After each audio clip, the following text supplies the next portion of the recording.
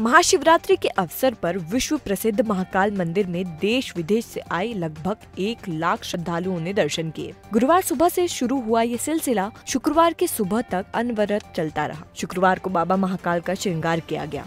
सहरा, श्रृंगार और दोपहर की विशेष भस्म आरती के चलते सुबह नौ बजे से दोपहर तीन बजे तक मंदिर में श्रद्धालुओं का प्रवेश बंद रखा गया था। दोपहर बारह बजे वर्ष में एक बार दोपहर में होने वाली भस्म आरती की गई, जिसमें केवल भस्म आरती करने वाले पंडे पुजारियों ने शिरकत की।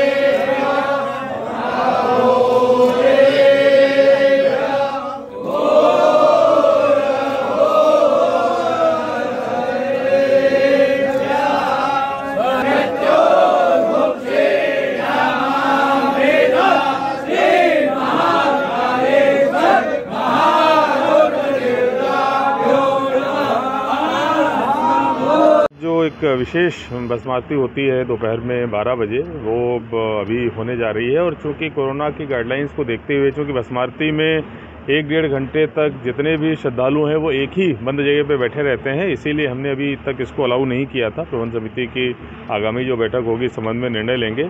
तो कोरोना की गाइडलाइंस को फॉलो करते हुए ही इस बार की भस्मारती हो रही है। इसमें किसी भी पब्लिक के व्यक्ति को प्रवेश नहीं दिया जा रहा है, केवल कुछ कवरेज के लिए जो पहले से चिन्हांकित मीडिया बंधु हैं उनको, और जो पुजारी गण हैं, जो उसमें शामिल होते हैं, केवल उन्हीं को वहाँ पर बसमारती में भाग लेने की अनुमति दी जा रही है, और दो चार जो हमारे सरकारी कर्मचारी हैं जिनकी वहाँ पर ड्यूटी लगी है, केवल वही लोग रहेंगे, बाकी पब्लिक के लिए पूरी तरीके से बंद रहेगा, लोग लाइव दर्शन जो है यूट्यूब के माध्यम से और दूसरे लिंक के माध्यम से कर सकते हैं। शिवरात्रि के पावन पर्व पर कितने श्रद्धालुओं ने दर्शन की कितने का प्रसाद?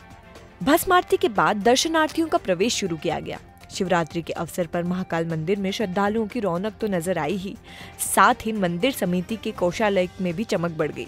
उज्जैन कलेक्टर आशीष सिंह के अनुसार गुरुवार और शुक्रवार को दो दिनों में प्रसादी काउंटर और शीघ्र दर्शन काउंटर से मंदिर समिति को लगभग 20 लाख रुपए की आय हुई है।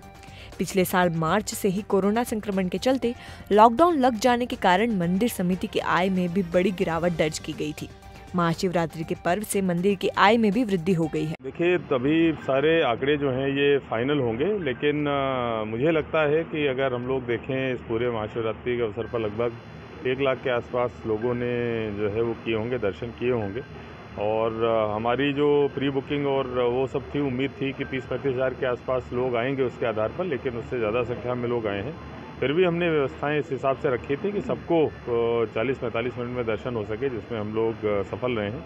बाकी प्रसाद की और जहाँ तक इनकी हम लोग बात करें तो कम से कम मुझे लगता है कि 30 लाख रुपए जो है दोनों से आए होंगे